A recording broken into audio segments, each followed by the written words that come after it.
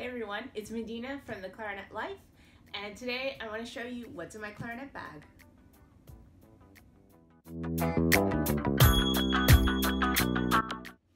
Okay, so this bag is by Woodwind Brasswind. This is their Allora brand, and there's a little bit of a backstory with this. So I was introduced to this particular type of case during my undergraduate years when I was in UNC Greensboro. This was when I was getting my bachelor's in music ed, and there was a clarinetist who was getting his doctorate. He was studying with Dr. Kelly Burke, and he showed me this case. It was a double case, and it fit enough stuff. It was pretty compact, and I was like, "Wow, that's a, you know that's a nice case." I always inquire like how much does it cost because cases, double cases can be pretty pricey. However, this case was not. Uh, it was under $50, so that hit my budget. And he was actually in the market to get a new case. So he asked me if, if I wanted to buy his case, and I was like, okay, I had no problem getting um, a case that was pre-owned so he said, you know, I'll sell it to you for two boxes of reeds. And I was like, perfect, I can afford that. This, by the way, was when a box of reeds was not $30. Uh, that's, it's, yeah. So anyway, I exchanged the two boxes of reeds for the case, and that's how I was able to get my first uh, Woodwind Brasswind case. So the name of this case is Allora. It's the name has changed over the years. Um, it didn't used to be called Allora. They have a single case version, I believe. Uh, I'll put on the description box um, where you can get this. I'm pretty sure they still sell them. But I really like this, and as a city clarinetist, it is super important that you have a case that is sturdy that you're able to kind of like have your arms free, especially when you're going through the turnstile in the subway. You know, you don't want to have to have your bag on the side. And here's the thing if you're trying to go through doorways and you're moving really quickly or moving through a crowd, you don't want to have more bulk on the sides of you. So if you keep it narrow, it works. So this as a backpack, I'm able to do that very easily. So uh, let's start with the exterior uh, has this one pocket in the back, okay? As you can see, it's backpacked. There's straps here. It has the feet. Um, I have, this is like my second or third case. The feet have come off in the past. These feet are still on. Um, has a handle here. And it has this side here, so if you want to use it as a side, you can. I've done that before if I'm like carrying multiple clarinets but I normally hold it as a backpack. So let's take a look and see what's inside. Okay, so before we go inside, inside, I want to uh, share with you these these sorts of things. I always uh, think is important. You know, most clarinet cases or gig bags, they all kind of look the same a little bit. They're either black or silver, you know, some kind of, or navy, some kind of dark color, brown. And so one of the things that's really important is you want to make sure that you have something that's identifiable in your case. Um, so I have, of course, I have my uh, business card here, Medina Clarinet. I have this right here, it's a little unicorn. It's cute. Um, I don't think I have anything else on the outside, but I do think that it's important to have something that's identifiable in the outside, but also something that's identifiable in the inside, just in case if your case gets lost or heaven forbid someone takes your case, you know, at least you'll be able to identify certain parts of it. It wouldn't hurt also to maybe put something that's you can identify your own case on like the fabric, maybe a patch or something that will stay like this is good, but it's not going to really stay. Someone could take it out, right? Um, I have uh, what is this? It's a badge, music badge, music notes. So yeah, so that's one thing that I will say is it's really important to keep an eye on your bag um, because your most precious commodities are in here and you need them. All right, so now we'll get to what's inside. Okay, So um, the handles here, you can. It has a little Velcro here. I I feel like I need to replace the Velcro. I probably won't because I'm too lazy to. Um, but it does kind of wear out a little bit, so FYI. So the first part here is this zip. Um, I usually put my sheet music in here. Um, I have Stan. It's a BG. I, again, something to identify your stuff. I put a little mark on there. Um, I probably don't have too much in here. No, I don't, because um, most of my stuff is hanging out on my shelf. But yeah, I, I can fit a metronome in here. I can fit some reeds here. Um, but normally I also carry an extra bag. So I have my, usually my clarinet case and then another bag. All right, so now I'm gonna show you the inside. Uh, I might put the camera in a different direction so you can see it. So let's let's make that switch real quick, okay? So there's the flap, here's the zippers, there's two, which is nice. I'm gonna try to do this with one hand. All right. Ta-da! Here it is. So, here's a pin. This pin I got um, when I was volunteering as a clarinet instructor from the Salvation Army. They have a, um, this is joy, it says joy. It's, uh, they had their first, uh, whatever, they had their, their first, clar- uh, like, music class, and they were introducing clarinet, and this was, like, after I, I graduated from uh, Manhattan School in Mannes, I think maybe Manhattan School. So anyway, I I volunteered there, and that was one of the things that they gave me. So I had that in my case. Okay, so here is my clarinet case. These are my clarinets. Uh, looks kind of messy in there. Not surprising. Uh, I try to clean it out every now and then. So let's go through. So these are one of the things that I like about this case is you can see that I can have one, two, three, four barrels. And as you know, having barrels is super important. So having barrels are is super important because um, when you're playing with your ensemble, they might, or the orchestra, they might wind up uh, using a particular, um, for, uh, I like to call it uh, A, like the 440. So in the U.S., um, usually it's 440 to 442. In Europe, it's it's higher.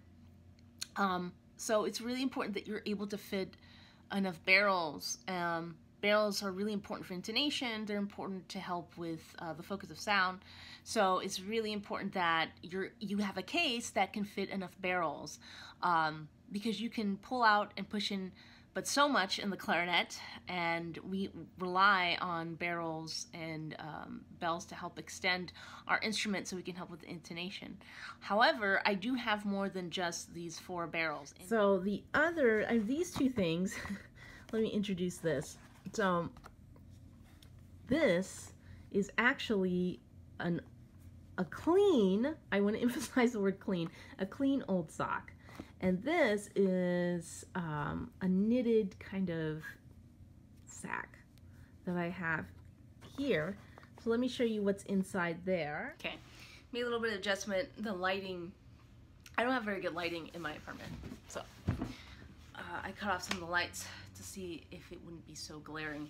So let's go back to these. So essentially these carry barrels. So the story with this little sack here, I volunteered and I, I can't remember. I think it was around Riverside. It was in the Upper West Side. And I uh, volunteered and performed a program at a nursing home. And this woman was very sweet. Um, well, some of them, some of them did not want to see the program because it was bingo time. I remember one woman uh, was like, I'm not going to see this concert. Bingo's next. So not everybody saw the concert, but this one woman in particular did see the performance and she was very sweet and she gave me and my pianist uh, one of these and she was, I guess she was like knitting. She was taking like a knitting class. And so it was really sweet and she said that it was, what did she say to me? I believe she said she didn't want my clarinet to be alone, so she made this. So she gave this to me essentially, which was really cute and sweet. And so I kept it uh, as a memento. But um, looks like a little mitten, right? Um, but what's cool about this is I can fit a barrel in here and it protects it from getting scratched in my case. So I have this in that little um, compartment. And then this is, it's essentially, it was like a sock. And of course, you know how it goes. You wash the socks and then one sock is gone. I have no idea what happened to the other sock. It's gone. Farewell. Um, but I decided to cut this um, when I got it from the laundry. I couldn't find it, so I cut it. And I have this barrel here, and I put this barrel in here. So it carries, it holds my barrels, and I put it in that compartment. Um, because, and um, you know, again, like I said, barrels are really important because they help with intonation. They help with the focus of the sound. Um, so yeah, so these fit in that compartment. Okay, so I have a different location. Hopefully um, you'll be able to see okay. It's focusing. So I also have some cleaning paper. Um, that's what this is. I'll show it to you really close. It's um, it's not opaque. It's transparent. But essentially, like if you're uh, if you have water between your pads and the tone hole, you can slide that in here and it dries. Um, it works pretty good. I don't like the powder kind, so this is this doesn't have that. So it's Yamaha. Uh, let's see what else do I have. I have this tin here. No, there's no Altoids in there. Let's see if I can do this one hand. I don't think I'm talented enough to do one hand. Am I? No. Let's see if I, I need to put the camera down real quick. Okay, open. So I have in here some. Let's see. These are tuning rings. I got these at uh, Clark Fobes. Um, these are uh, denture pads. I use these uh, if I'm playing for a really long time and I feel like my teeth are kind of grinding the bottom of my lip. Uh, I have actually a video on this, on how to use this, so I will put in the description box if I remember. Um, I have here some, uh, this is sandpaper, I believe it's 600, and I just cut into little, um, I guess slivers, little, little pieces. And the reason why I have that is if I need to adjust a reed uh, during rehearsal or during practicing, I'm able to do that. Uh, what else? Yeah, I think that's all that's in there. So, close that. Ah, there we go. So, it's nice. It's compact. It fits. Oops. It fits in the case really well. Uh, let's see, what else do I have? Pencil, hot commodity, right? Someone's always taking my pencil, or I'm honestly, sometimes I'm the one that's always taking the pencil, so yeah, karma, right? Um, this, I use, um, I, I use a BG thumb rest, um, but I used to use these extended thumb rests. This is, um, kind of tubing? I think it, I got this at Canal Rubber.